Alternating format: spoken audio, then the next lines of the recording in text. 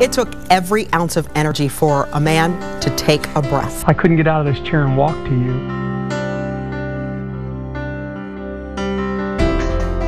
Well, now there's new technology being tested right here in central Ohio that could change that.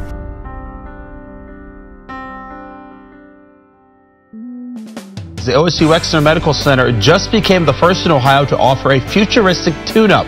Doctors are now using new technology called the ex vivo lung perfusion.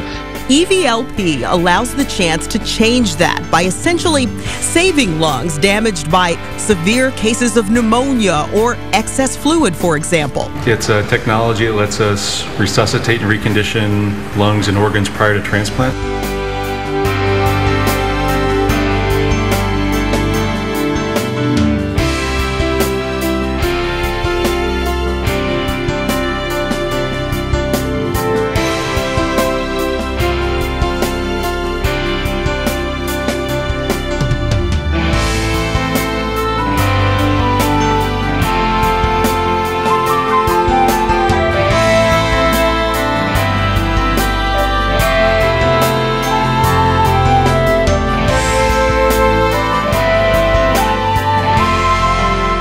Given life twice.